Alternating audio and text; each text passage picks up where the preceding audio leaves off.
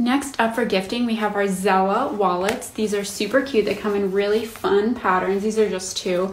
This is zebra and this is called gallery and this is a really nice faux snake skin with a little bit of a shimmer sheen to it.